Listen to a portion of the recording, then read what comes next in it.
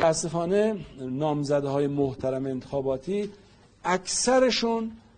در شهرستان ها و استان ها ستاد هنوز درست نکردن وقتی ستاد ندارن و خب فعالیت انتخاباتی هم ندارن علا رقم این که ما برای میتینگ ها و تجمعات با شرایط خاص که سی درصد ظرفیت اون مکان با رعایت فاصله به حال بهداشتی بهشون مجوز دادیم ولی تا به امروز تا یک مورد میتینگ هم تشکیل نشده است